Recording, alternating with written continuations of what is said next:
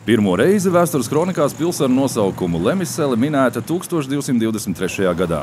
Tādēļ tieši šogad pilsēta, nu jau ar nosaukumu Limbaži, atzīmē 800 gadi. Visa gadu garumā ar nosaukumu Limbažiem ir 800. Ritēs tematiski notikumi, kuru kulmināciju gaidām jau nākamnedēļ, un tās programmu šodien izziņoja svētku rīkotāji. Tā iezīmēs limbašnieku dzīvi gadsimtu gaitā. Arī šobrīd, kad mēs atzīmējam šo 800 gadu, mēs to varēsim redzēt, ar ko tad limbašnieks nodarbojas, ar ko viņš ir nodarbojies iepriekš. Mēs vienkārši turpinām to pēctecību, un arī mūsu uzdevums ir savukārt, lai varbūt cilvēki, kas plānos 900 gadi, varētu atskatīties kaut kur vēstures lapusēs, ko tad viņi tur bija saplānojuši tajā 800 gadē un kā tas viss notika vai arī, vai arī nenotika. Svētki iesāksies 29. jūlijā ar grupas Skyforger koncertu, kam ikdienu sekos koncerti dažādām gaumēm. Svētku laikā gaidāms svinīgais gājiens, salūts, sporta aktivitātes un lielākais Hanzas tirgus Latvijā.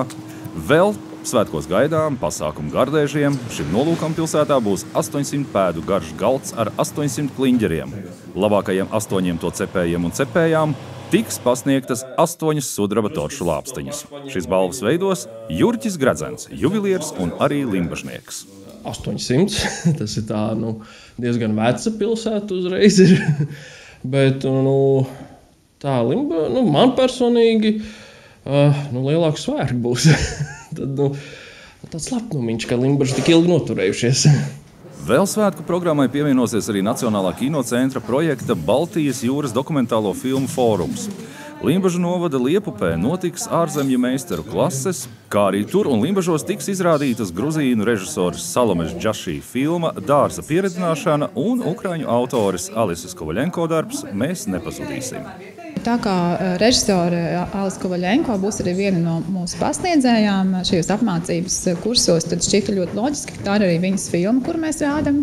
Un savukārt eh, filma eh, Dārza pieredzināšana nu, savā ziņā ir līdzīgs, līdzīgs iemesls, jo arī Salama Džašī arī ir viena no fóruma pasniedzējām šogad. Vispiesātinātākās svinamdienas būs nākamā piekdiena un sestdiena, bet lielais Limbažiem ir 800 svētku cikls noslēgsies 18. novembrī ar amatieru kolektīvu koncertu Limbažu kultūras namā. Jānis Lācis, Dzintars Spriņģis, Latvijas televīzija.